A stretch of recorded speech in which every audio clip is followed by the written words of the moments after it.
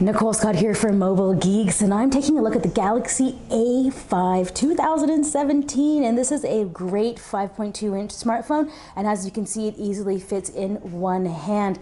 The first thing that you'll notice when I flipped it over is this amazing peach coral color. Uh, what I find most interesting about this kind of color scheme, we have the black, and then we have some sort of blue over here, but I really do like how this is kind of like a milky um, color tone. Uh, it's, it's very unique and they've kind of got matching products, uh, accessories, which I'll get into in a separate video. Uh, but taking a quick look at this device, we have a full HD display, 5.2 inches, 2.5D glass on the front, which I have to keep saying I am not a big fan of. It might give you this, I guess, maybe more aesthetic look, but at the same time, because it's 2.5D, it's a little curved over here, and to me, everything that has this finish just seems a little more fragile. So it has a metal frame on the side, so that does bode quite well for this device. As you can see, there's a speaker up top. We have um, the power button down over here. Around here, we have a headphone jack, which is fantastic and apparently a feature we all have to get excited for. USB Type-C, there's an antenna line there at the bottom.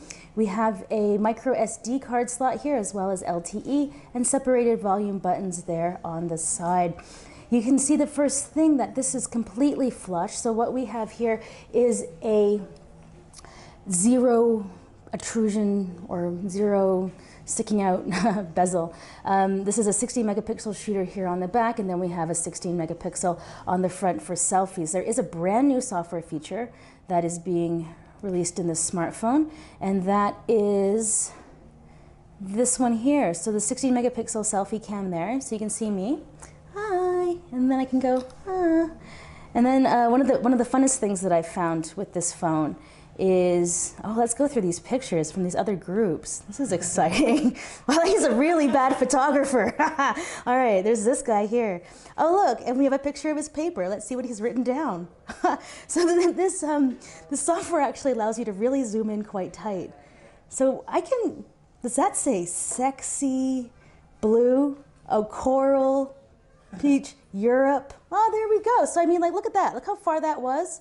And we could zoom in and we could see some stuff. So yeah, I mean, um, the, the 260 megapixel cameras on this are quite good.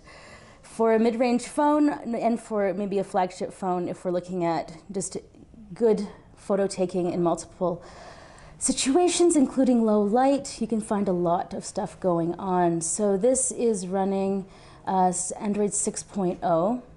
Not sure where that is, but anyways, we have a 3000 milliampere battery with fast charge. Uh, this, like, like, I mentioned, is USB Type C.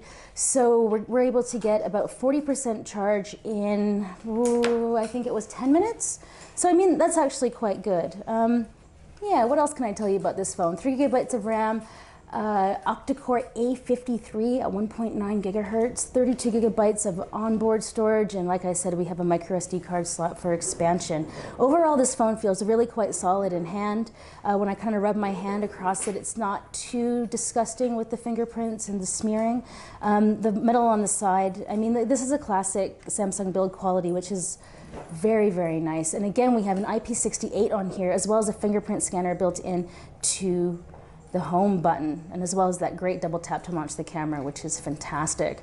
All right so this has just been a quick and dirty hands-on and my first impressions of the samsung galaxy a5 uh, it will be available in germany at do we have a price point?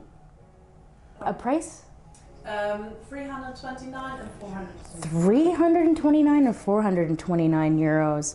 All right. So this is, uh, you know, a nice hands-on during CES, a nice little opportunity to see what Samsung's doing in the mid-range smartphone market. If you're curious what Mobile Geeks has been up to here at CES 2017, we have a fantastic YouTube playlist that you can go through and check all of our coverage. And if you head on over to our Facebook page, you'll find crazy amount of content in German because I know some guys like to listen to that. Nicole Scott here for Mobile Geeks.